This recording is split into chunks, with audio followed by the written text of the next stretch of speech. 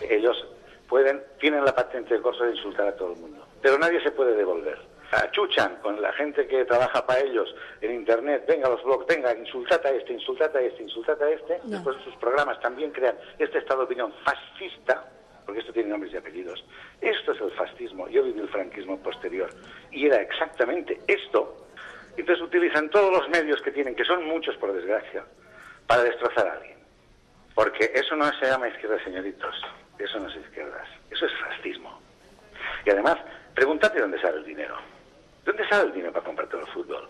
¿De dónde sale el dinero para comprar toda la Fórmula 1? ¿De dónde sale el dinero para comprar todo el tenis? ¿De dónde sale ese dinero? ¿La millonada de las, de las izquierdas? Por Dios, parecemos idiotas.